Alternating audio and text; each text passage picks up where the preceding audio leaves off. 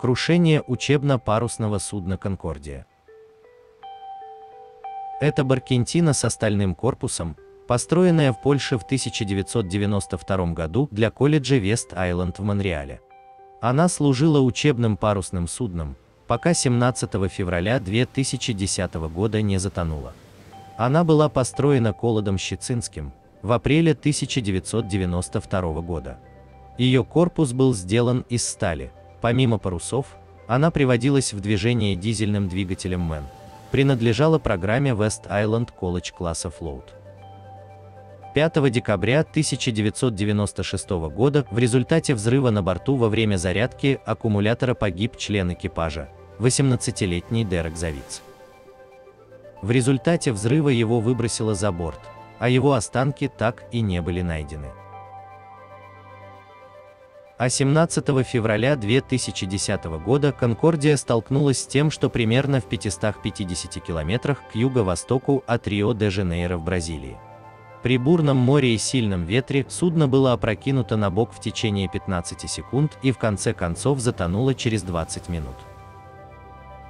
Поскольку опрокидывание было очень быстрым, радиосигнал бедствия не был подан, но аварийный радиомаяк-указатель местоположения сработал гидростатически и автоматически активировался, когда судно затонуло. Место нахождения экипажа с студентами было определено в 15 часов 25 минут по местному времени. На следующее утро в 8 часов и 6 минут морской координационный спасательный центр Бразилии отправил факс в Объединенный спасательно-координационный центр Галифакса с запросом информации о судне «Конкордия». После попытки связаться с «Конкордия» в 17 часов ровно в четверг был отправлен самолет Бразилии, который через 3 часа обнаружил спасательные плоты. Выжившие провели почти 30 часов на спасательных плотах, прежде чем их заметил самолет. С плотов были выпущены ракеты, и самолет в ответ замигал посадочными огнями и направил к месту происшествия близлежащие торговые суда. Через 41 час после затопления экипаж благополучно оказался на борту спасательных кораблей.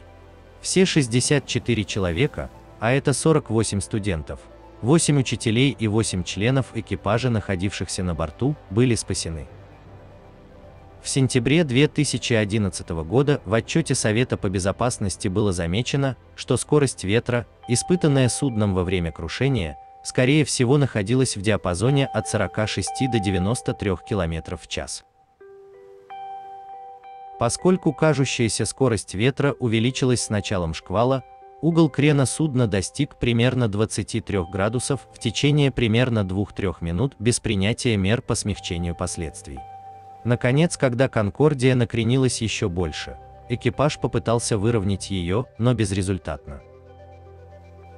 Носовая и кормовая рубки не были полностью защищены от непогоды, и поэтому восстанавливающая способность судна на больших углах была снижена, а защита от проникновения воды была поставлена под угрозу. В результате затопление продолжалось до тех пор, пока судно не потеряло всякую устойчивость и не перевернулось.